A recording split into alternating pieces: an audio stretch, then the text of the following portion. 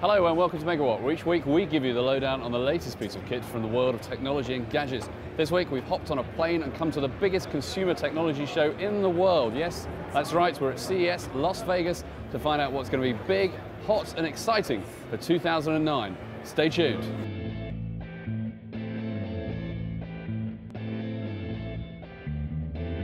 So Samsung's answer to the iPod Touch is the Samsung P3 and here it is. It's a small touchscreen MP3 player that offers haptic control so when I touch the screen I get a little buzz and also games as well. Now you can scroll through the different areas, there's widgets so I can choose games for example and go back.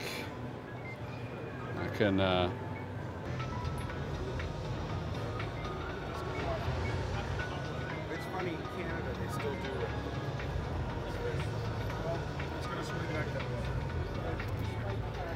and then there's also even, it works, subway maps of every city in the world. So you can do Europe, we can go London, and then all of a sudden we've got all the major stations for the tube, which is pretty cool. Yeah,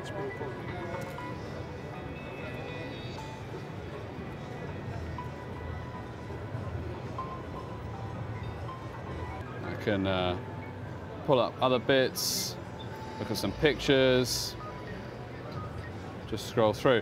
Now elsewhere there's a little speaker on the top, so if I can come out of here and play some music. See what we got in here. Maybe a bit of uh, Destiny's Child, I don't know why.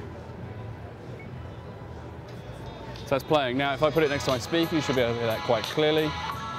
It's loud enough. I mean, it's not going to be loud enough to start a party, but certainly if you're a little kid on the back of a bus and you don't want to annoy everybody else, this is going to be one of the things to do it.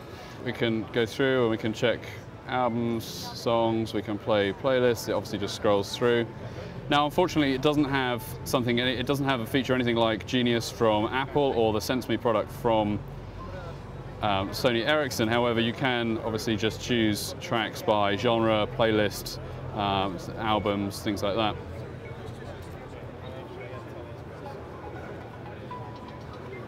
Available later in the year, that's the Samsung P3.